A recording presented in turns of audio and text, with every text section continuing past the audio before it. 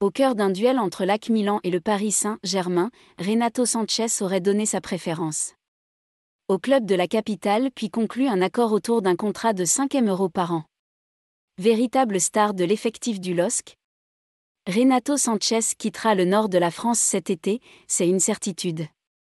Reste à déterminer désormais sa future destination.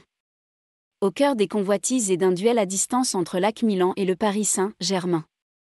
Annoncé en Italie depuis de longues semaines, le club de la capitale francilienne a fait une irruption soudaine dans le dossier avec l'arrivée de Luis Campos. Un intérêt qui a séduit Renato Sanchez qui mis en stand, baille les négociations menées avec les Rossoneri.